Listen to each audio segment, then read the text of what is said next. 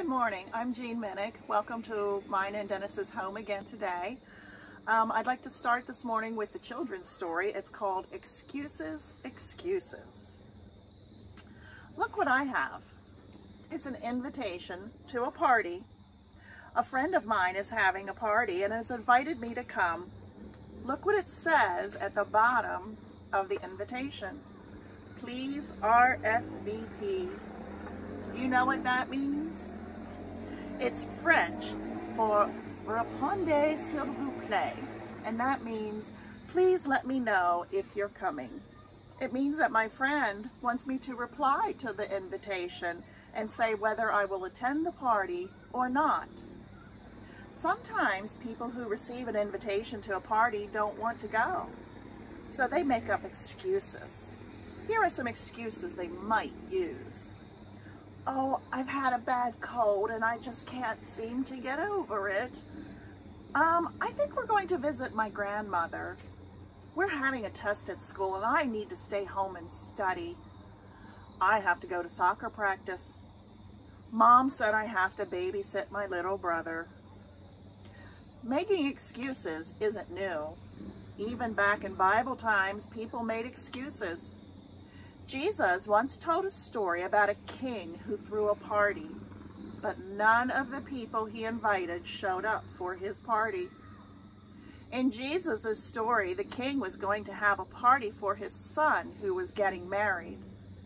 Since he was a king, and this was his only son, you can imagine that it was going to be quite a celebration, and it was a tremendous honor to be invited. All of the plans had been made, the food was prepared, the invitations had been sent. The day of the celebration came, but no one showed up. The king sent his servants to see where the people were and why they had not come to his celebration. The people all began to make excuses about how busy they were.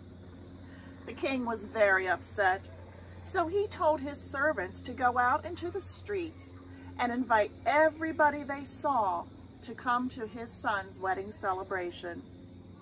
They did exactly what the king told them to do, and the Bible tells us that the wedding hall was filled with guests.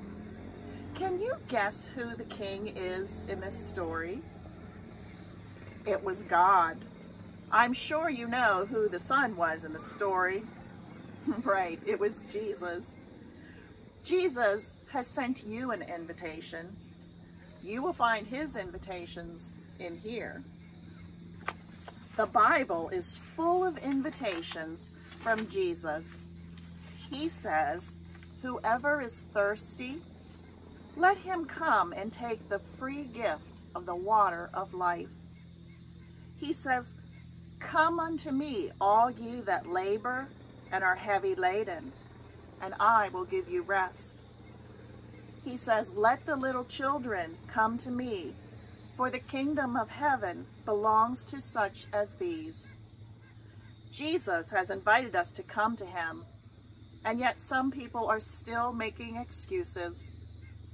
I would like each one of you to accept his invitation. Pray, tune into worship services, read the Bible, Find out what you have to look forward to. Jesus says you don't want to miss this party. Let's pray. Dear God, thank you for Jesus, your son. We thank you for his invitation to come and receive the free gift of life which he offers. We know you are preparing a place at your table just for us. We will be there. Amen. Our opening prayer is from the hymnal, um, number 661. We gather as pilgrims on a journey of faith. We come seeking the cloud of your presence as we travel the way.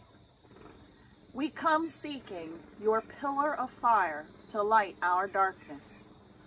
Shine in our hearts, O God, with the light of your love. Make your presence known through Jesus the Christ. Amen. Let us pray. Forgiving God, You do not deal with us according to our sins, nor repay us according to our iniquities. For as the heavens are high above the earth, so great is your steadfast love toward those who fear you. As far as the east is from the west, so far you remove our transgressions from us. Amen. At this time, um, we can receive the morning offerings. Um, when we cannot meet physically, you may continue to give tithes and offerings to continue the work of the church by mailing your monetary offerings to George Kiefer. Generous God, you gave us life. Now we give our lives back to you. We present ourselves, our work and play, our joys and sorrows, our thoughts and deeds, our gifts and resources to be used by you for the sake of all people everywhere. Through Jesus Christ our Lord. Amen. If you're on one call now, then you will have gotten messages from Debbie Kiefer. Um, please keep people in prayer that she um, makes the calls about. And if you have any praise reports or any concerns, please give Debbie a call so that she can share with the congregation. Let us pray. Merciful God, your love for us makes us bold to join our prayers with all who need your help. We bring our prayers to you for those who suffer pain, for those who struggle with limits of body and soul, for those who are satisfied with less than the life for which they were created, for those who know their guilt and their need, but do not know of Jesus. For those who know that they must shortly die, and for those who cannot wait to die. Come, redeeming God, take all these sufferings upon yourself and transform them. Be merciful also to us who offer these prayers that we might enter the sufferings of others and become agents of your healing love. Through Jesus Christ our Lord. Amen. Um, the scripture today is from Matthew chapter 22, verses 1 through 14, and it is the parable of the wedding banquet. This parable is about both God's grace and the gratitude of those that God invites to his table. Once more, Jesus spoke to them in parables, saying, The kingdom of heaven may be compared to a king who gave a wedding banquet for his son. He sent his slaves to call those who had been invited to the wedding banquet, but they would not come. Again, he sent other slaves, saying, Tell those who have been invited, Look, I have prepared my dinner. My oxen and my fat calves have been slaughtered, and everything is ready. Come to the wedding banquet. But they made light of it and went away, one to his farm, another to his business. While the rest seized his slaves, mistreated them, and killed them. The king was enraged. He sent his troops, destroyed those murderers, and burned their city. Then he said to his slaves, The wedding is ready, but those that were invited are not worthy. Go therefore into the main streets and invite everyone you find to the wedding banquet. Those slaves went out into the streets and gathered all whom they found, both good and bad. So the wedding hall was filled with guests. But when the king came in to see the guests, he noticed a man who there who was not wearing a wedding robe. And he said to him, Friend, how did you get in here without a wedding robe? And he was speechless. Then the king said to the attendants, Bind him hand and foot and throw him into the outer darkness where there will be weeping and gnashing of teeth. For many are called, but few are chosen. The message this morning is called The Guests Who Came to Dinner. Um, the message was actually written by John Williams III, a United Methodist pastor um, from Columbia, South Carolina. Um, I've mostly just used his words, but there are a few places where I adapted um, a few things. But I did want to give him credit. Tell me if this sounds familiar. It's dinner time. The meal is ready, but everybody is distracted. Dad is watching a ball game and cheering loud. The daughter has on her headphones attached to her device, perhaps an iPhone or a tablet. The son is busy practicing the guitar. The other son is talking to his sweetie on the phone. The other daughter is busy editing her paper, which is due tomorrow. Dinner is ready and 10 minutes have passed and mom has sent out three different invitations to come while the food is still hot. She will be very unhappy if they do not come to dinner. This parable is not about food that gets cold, nor is this parable about people who are worthy. This parable is about both God's grace and the gratitude of those that God invites to his table. Let's explore the invitation, the guests, and the genuineness of the response of those who came to dinner. How many times have you been invited to a party where there was an RSVP involved? In modern day, we call the response that makes that one makes to such an invitation an RSVP. As I said before, that's French for répondez s'il vous plaît, which is our English way of saying please reply. Everyone sitting here has more than likely received an RSVP kind of response request. The reason for the RSVP is to let the host of an event know how many to prepare for, a head count. It is possible that this parable might have been an extension of the parable of the wicked tenants that Dennis spoke about last week, for there seem to be very many similarities. Like the parable of the wicked tenants, there were three different responses to the target audience. Call us anything, but do not call us late to dinner, right? In verse 5, there are those who tried to make invalid excuses. One went to his farm and another to his business. Do we ever make light of God's invitation because we're self-absorbed? If that question does not make us examine ourselves, then maybe we aren't taking it seriously enough. God did not ask us to fill out a survey about the invitation, citing the things we like and complaining about the things we don't. We are blessed just to be invited, and sometimes act as if God owes it to us to invite us. If God were to give us what we truly deserve, then would we not be escorted away? What about those who got violent and rebelled against the king's authority? That is the topic of verses 6 and 7. Surely that's a literary motif to explain injustice, right? Wrong.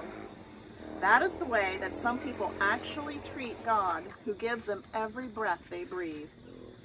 Again, God does not owe anyone anything. The life we have been given and the time we are given for our lives are a gift that too many take for granted. Have you ever heard of Raymond Albert Kroc, better known as Ray Kroc? Ray Kroc's name is synonymous with the fast food restaurant McDonald's. How many of you have ever eaten there? I know quite a few hands are going up. Well, the truth of the matter is that Ray Kroc entered into a business relationship with the original founders of McDonald's. Although Ray was a business entrepreneur, he was also a conniving deal breaker who took the concept and the name of McDonald's away from its creators. Check out the movie called The Founder to see the history of how McDonald's really came into existence. That kind of hostile takeover is possible between humans in a business world, but it is absolutely impossible between humankind and our Creator. How many of us are willing to risk being thrown into outer darkness where there will be weeping and gnashing of teeth? Why did the original guests neglect, their invitation?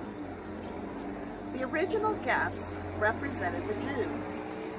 Jesus came to his own people, and his own people would not receive him. Did they reject Jesus because they felt that God did not meet them on their terms? Or was it that they preferred doing their own will to God's will? Before we condemn them or write them off, we must ask ourselves what we are doing in God's will versus our own will.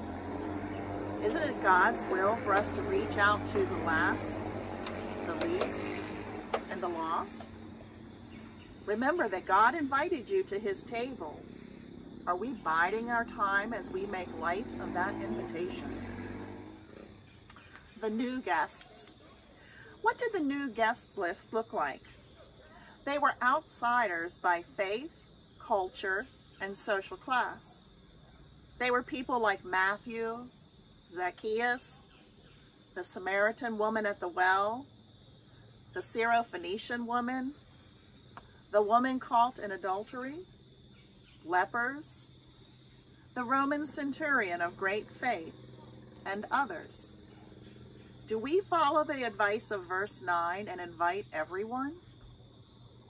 The new guests were extended an invitation that they would never have expected. Both the good and the bad were invited to the wedding hall until it was filled. They were invited from the streets and the street corners. They were sinners in need of a Savior. Unlike the original guests, they were sinners, but they knew it. Matthew 9, 12 says, It is not the healthy who need a doctor, but the sick. Romans 3, 23 says that all have sinned and fall short of the glory of God. Paul echoes a point that Jesus made in this parable. Galatians 3:28 says, There is neither Jew nor Greek, slave nor free, male nor female, for you are all one in Christ Jesus. So although they were sinners and Gentiles, they did not insult the king as the original guests had. Are we filling God's house with those we invite as verse 10 mentions? Or are we neglectful because of how we are rebelling against God's love instead of sharing his love with others? If God is inclusive, and he is, then how well do we resemble his ways as his children if we rebel against his love?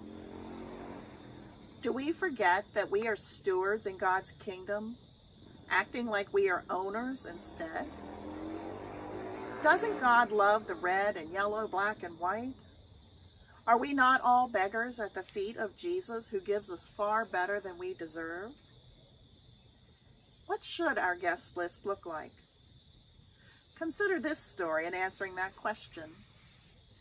A widow who moved to a small New England town did an unusual thing to celebrate her birthday. She and her husband had retired to the charming looking quaint place after vacationing in the area for over 20 years. But the husband died a couple of years after settling in the new place. Although they had often joked at the way they were still regarded by the townspeople as summer folk, the woman had not been aware how rigid the carrier was until she was left alone. True, she knew most of the town's inhabitants as acquaintances and was treated politely.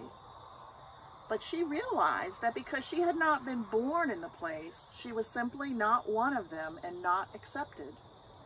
She knew that she was not deliberately excluded. It was a case of just never being included. Her birthday came again. Instead of moping, the lonely, instead of moping in lonely isolation, knowing that no one would know or care, she imaginatively decided to do something novel. She would throw a party, and she would invite the people whom she could never think of inviting. Instead of inviting the people everybody thought about, the right people, this woman carefully thought about those whom she would not invite under the usual circumstances. She chuckled to herself as she began to put together her unusual guest list. There was the dark-skinned Portuguese woman with such broken English at the bakery, the blind woman whose family had all moved out of town and seldom contacted her. The new young school teacher in town, too shy to make friends. That divorcee with two kids who came to town from the city, lived on welfare, and was the topic of great gossip among the respectable housewives. There was another mother and widow who everybody knew had a drinking problem. And there was the wife of a new man in charge of the Coast Guard station out on the point. Who would ever have thought of including them? Our friend put them on her invitation list, and they all came. Everyone had the best time in years. In fact, they agreed that they would meet again the following month in the tiny house of the Portuguese woman. Doesn't this story give us a mirror image of God and what he intended to do in filling his wedding hall with guests? And now we're going to talk about the attire. Rebecca said this was kind of a troublesome part of the scripture that I read this morning. There are social customs or habits in every culture. In this parable, Jesus addressed one of those customs.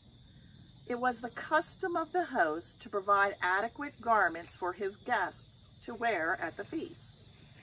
The garment that the guest provided was necessary because a guest would not be seated without it. That was the custom. Jesus used this custom in this parable as a metaphor for impostors. What was the topic of the metaphor that Jesus implied in wearing the wedding garments? The metaphor here is repentance because it is through Jesus Christ that we are justified. And there was this one man who was not justified in his presence at the table of the wedding feast because he was not wearing the proper clothing. Galatians 3:27 says, "For all of you were baptized into Christ, have clothed yourself with Christ." Are there imposters at the table? Another story. As it was sinking, the Titanic's Captain Smith gave the order to members of his crew to watch out for the women and children. It was obvious that he meant women and children should be the first in the lifeboats. Though accounts differ, the story is told of Daniel Buckley, a third-class passenger on the Titanic who disguised himself as a woman so he could get on board of one of the lifeboats. In our world, we call those kinds of people imposters. God knows who the imposters are and the pretenders. If you are not clothed with the salvation of Jesus Christ as your wedding garment, then you will be cast out. It is the clothing of Christ that makes us righteous. Christ gives us his righteousness in exchange for our sinfulness, so that when God looks at us, he sees Christ and not our sin. For God cannot bear to look at the sight of sin, which is why God turned his face away from Jesus on the cross, as Jesus said, My God, my God, why have you forsaken me? God has provided the wedding garment that we need through Jesus Christ. If God is already providing the clothing of righteousness through Jesus Christ, then why is it that not everyone puts on his clothing?